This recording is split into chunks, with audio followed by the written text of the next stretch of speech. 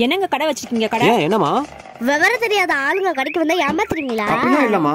என்னாச்சுன்னு விவரமா சொல்லுங்க. கம்ப்ளைண்ட் பண்ணுவோம். கன்சியூமர் கோர்ட்டுக்கு போவோம். பெனால்டி கேட்போம். நடந்ததை சொல்லுங்கம்மா. நேத்து முந்தின நாள் கடையில யார் இருந்தா? சொல்லுங்க. சொல்லுங்க. சொல்லுங்க. சொல்லுங்க. அதுக்கேம்மா பாஸ் ஆஃப் சைடில் மிரட்டுறீங்க? நான் தான் இருந்தேன்.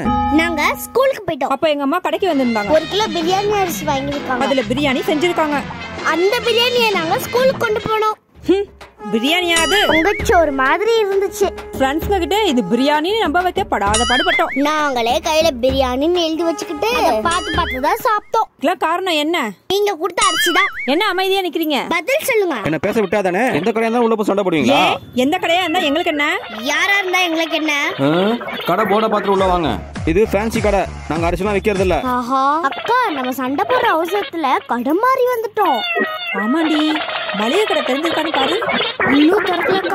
திறக்காட்டி என்ன? வா நம்ம கடை வாசல்ல போய் காத்திருப்போம். வந்தோடனே சண்டை போடுவோம். வாக்கா கடைக்காரன் டென்ஷன் ஆகிறதுக்குள்ள ஓடிடுவோம். ம் பாடி நில்லுங்க. ஓடுறீங்களா? ஓடுங்க ஓடுங்க. இன்னும் ஒரு வாரம் அந்த கடை பக்கம் வந்துடாதீங்க தொலைச்சு தொலைச்சு.